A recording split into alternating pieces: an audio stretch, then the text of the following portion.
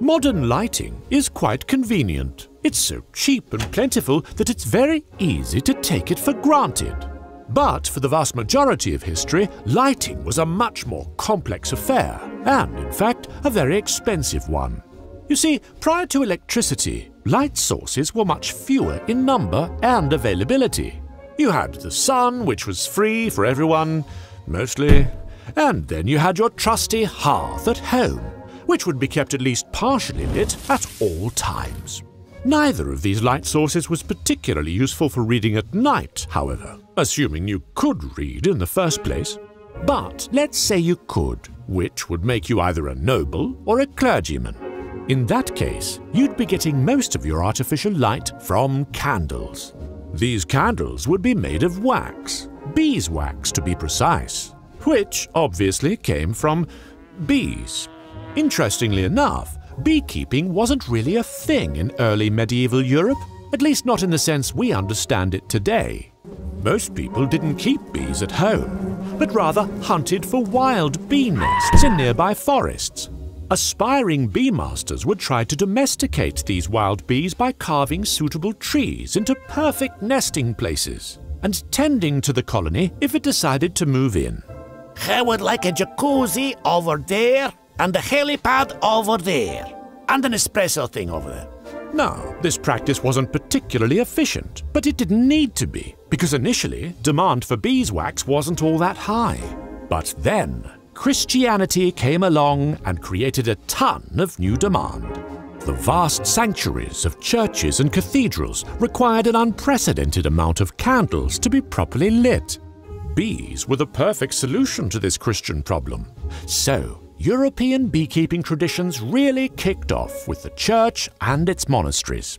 The clergy took special care of the bees in its domain and created dedicated bee forests whose sole purpose was to nurture new colonies.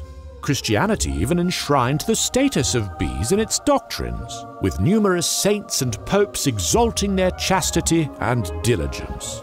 That takes the sting out of things. Arguably, the spread of Christianity was the best thing to ever happen to bees, at least population wise. However, as Europe's own population grew, the ever increasing demand for food resulted in forests being cleared away to make room for farmland. In fact, the Middle Ages saw one of the greatest waves of deforestation in history. So while the church did an excellent job of supporting the bees on its own territory, secular deforestation destroyed bee populations pretty much everywhere else. Ironically, the areas with the highest demand for beeswax became those least capable of producing it. In medieval England, for example, beeswax became eight times more expensive than honey, and a single wax candle could cost more than a day's wage. So, from where did Europe get its beeswax? Well, from the few places with any remaining forests Scandinavia and Russia. Indeed, beeswax became one of the most valuable goods in the Baltic Sea trade. The famous Hanseatic League, a confederation of German merchants and guilds, monopolized this trade route and earned great profits in the process. Of course, these profits came at the expense of consumers. Well, we certainly don't hear of that happening anymore.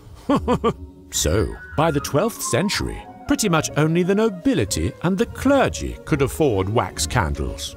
The fact that they used copious amounts of them didn't help.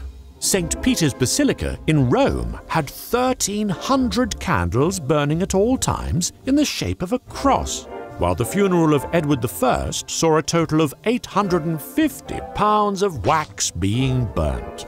The situation in England, specifically, got even worse when Henry VIII decided to cut ties with the Pope. In addition to getting as many divorces as he wanted, he also closed all the monasteries, destroying a large chunk of England's beeswax production. Now, the European commoner did have one alternative.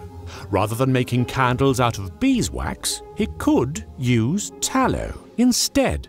Tallow is made of animal fat, and while its candles are dimmer, smokier, and generally quite smelly, they're still better than nothing.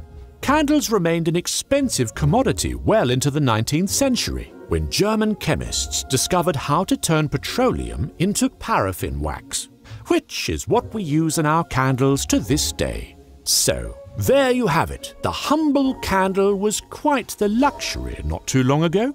Anyway, my friends, I hope you enjoyed our brief dive into the heart of medieval beeswax economics.